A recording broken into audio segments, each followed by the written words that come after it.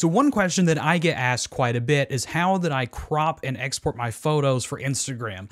I did a video on this a couple of years ago, but over time my settings have kind of changed of how I like to do things. Sometimes you might have noticed on some of my recent Instagram posts that I've put kind of borders around those. I'm not really going to discuss that today. I could talk about that later. If you would like to hear about it, leave that in the comment section below. But more importantly, what I want to talk about today is how to maximize your crops and your exports so you're getting the most high quality photos that go on Instagram. Now there's three types of crops that you can do.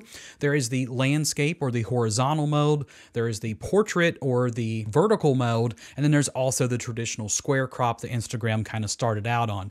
I'm going to show you how to do all three today as well as how to export those with the best possible settings to up your Instagram game but let's hop into it. Firstly, let's go ahead and export this as a landscape photo that has the right proportions for Instagram. So the first thing you want to do, once you get all your edits done, everything's ready to go, just go ahead and click on your crop tool over here.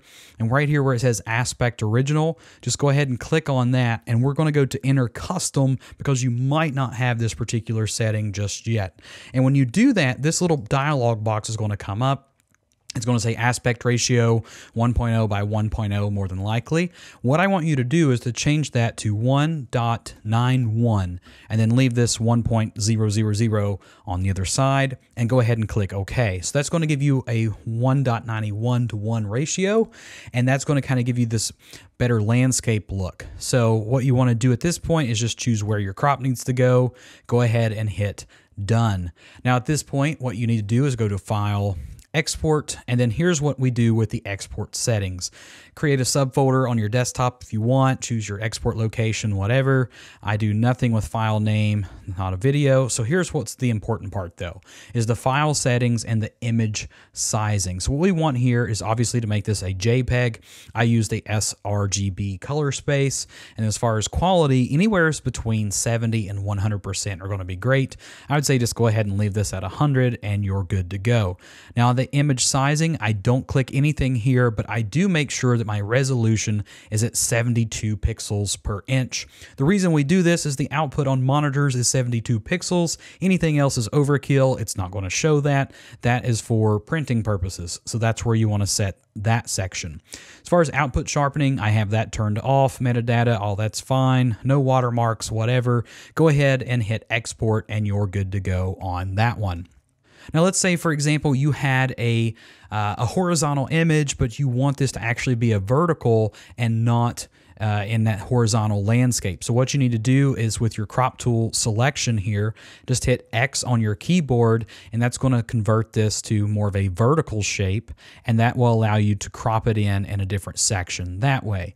You still got to go in and get to proportions, so let's go ahead and take a look at that.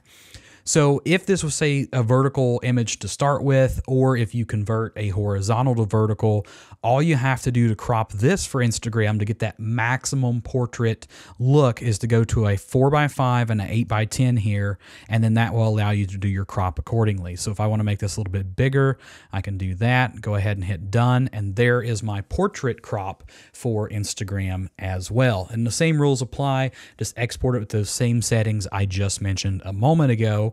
And of course, the third option you can do here for this, we're just going to go back to as shot and we're going to change this to a one by one. It's going to give us a perfect square crop here. Going to hit done and there's how you do your square crop. And again, the export settings for that are exactly the same as well.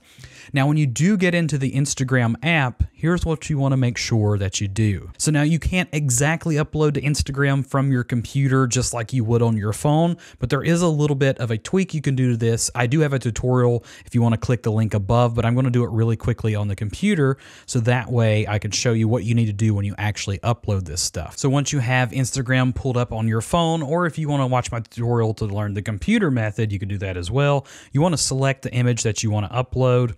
Just go ahead and let it do its thing. Now, always be sure that you hit these two little uh, arrows here in the corner because that's going to put the full image in there. If you don't do that and you upload this way, Instagram's going to crop it to this square look it does automatically. So if you have a full-size portrait or landscape, you're not going to see that unless you hit those arrows. From that point forward, you just hit next, you go through the process, put on your captions, tag your friends and your locations, and you're pretty much complete at that point. So as far as uploading Instagram photos, that's it. That's my method. That's my uh, process on that. If you'd like to know more in depth about why I do it certain ways or how I get these specs, be sure to leave that in the comment section below. If you'd like to see more videos like this or have other questions on how to better edit photos or get things just set up for Instagram in general, also leave that in the comment section below and I'll do the best I can to make a video on that.